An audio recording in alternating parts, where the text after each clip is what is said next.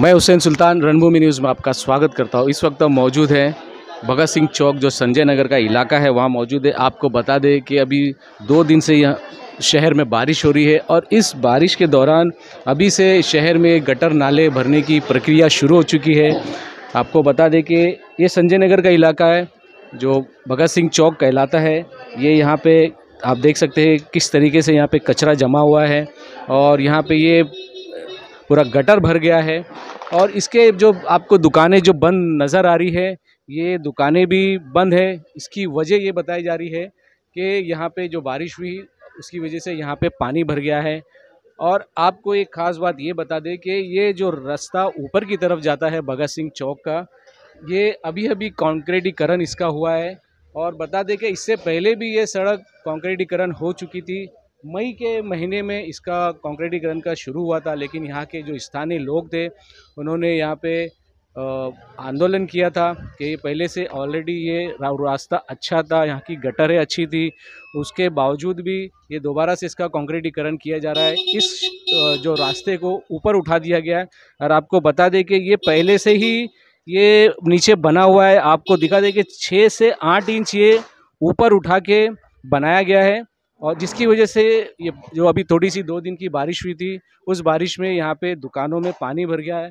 ये दुकानें जो बंद नज़र आ रही है, इसी की वजह से कि पूरी दुकानों में पानी भर गया है। और अब क्या वजह है, इसी ताल्लुक से हमने यहाँ के जो पूर्व नगर सेवक है सुधीर भगत से बात की, क्योंकि इससे पहले भी जब ये काम यहाँ पे शुरू हुआ था तो उन्होंने आंदोलन किया था स्थानीय लोगों के साथ में।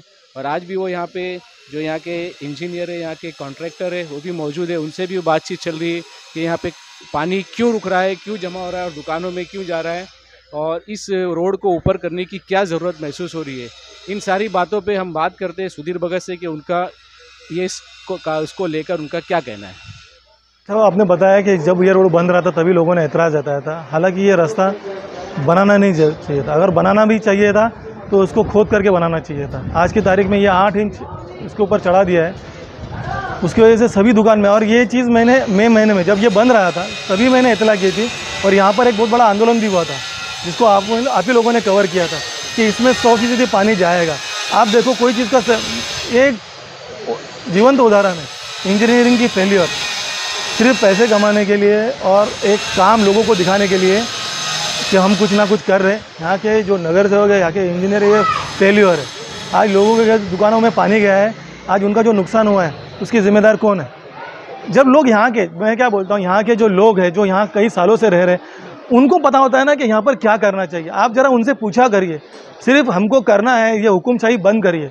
जो पाँच छः साल में यहाँ पर जो हुकुमशाही हुई ना जहाँ पर जो करना है। मैं कुछ दिनों पहले उस शाखा के इधर भी देखा था कि ज़बरदस्ती जिसका जो स्लोप नहीं है, उस स्लोप में वो लोग अपना चेम्बर डाल रहे थे।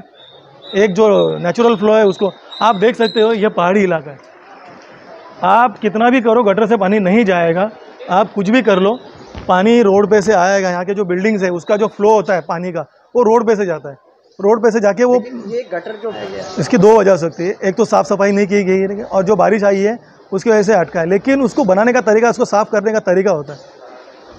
आज वो नहीं किया गया उसकी वजह से। लेकिन ये करने के बावजूद भी मैं आपको बताना चाहता हूँ ये पूरा पूरा फेलियर है जो जो कंक्रीट रोड पैसे कमाने के लिए जो कंक्रीट रोड बनाया गया है ना मैं फिर से बोल रहा हूँ ये पैसे कमाने के लिए कंक्रीट रोड ये संजय नगर के ऊपर माथे पे मारा गया है। इसके नीचे का कंक्रीट रोड में आपको चार कदम दिखाता हूँ, उसके नीचे इसका चार कदम के इसका कंक्रीट पुराना रोड है। वो इससे बेहतरीन है। उसको क्यों हिलाया गया? आप देख सकते हो, कंक्रीट रोड जो पहले की जो कंक्रीट रोड का स्लैब है, वो एकदम फ़र्स्ट क्लास है। उसके ऊपर चेम्बर का स्लैब है। उसके ऊपर चार इंच लोग ने भर करके सीधा सीधा सस्ते में काम किया है। ये सस्ते में काम करने की वजह से ही आज ये नौबत आई है। आज जो गरीब लोगों का या बाकी लोगों का नुकसान हुआ है, उसका जिम्मेदार कौन है? अब ये उन नगर सेवक जिन्होंने ये मंजूर किया है उनको पूछना पड़ेगा कि जो ऑलरेडी रास्ता था उसको और ये बनाने की ज़रूरत क्या थी? और सबसे बाद उसके बाद वो इंजीनियरिंग आती है कि इंजीनियर का ये इंजीनियरिंग का फेलियर है ये कि उनको पता है कि यहाँ दुकान है उससे नीचे हमको करना है। यहाँ पर आजू बाजू में दुकान है उससे नीचे हमको ये रोड करना पड़ेगा। कचरा फंसा हुआ है ये पानी भरा हुआ है तो क्या वजह क्यों बनाने के बाद अब जब बनाने के लिए गए रहेंगे वो लोग ने उसमें स्लैब डाला है नहीं डाला है उसके अंदर जो बाम्बू वो लोग ने स्लैब के लिए रखे थे वो निकाले के नहीं निकाले परंची जो बांधी जाती है स्लैब कवर करने के लिए वो निकाली नहीं निकाली या कुछ और चीज़ फंसी हुई है। लेकिन मसला यह है कि यह होने के बावजूद भी जो रोड पे जो पानी आता है जो बारिश हैवी आती है वो दुकान वालों का ऐसा कहना है कि रोड से पानी जो उनके दुकानों में भी जा रहा है। वही मसला है क्योंकि आजू बाजू में बिल्डिंग्स है आगे पहाड़ है जो स्लोप से बारिश आएगी वो पूरी दुकानों में जाएगी। और दुकानों का जो पहले और अभी का, पूरा अंतर फ़र्क आ गया। आप मेरे साथ अगर चार कदम आगे चलते रहेंगे तो मैं आपको पुराना रास्ता दिखाने को तैयार हूँ। आप आइए।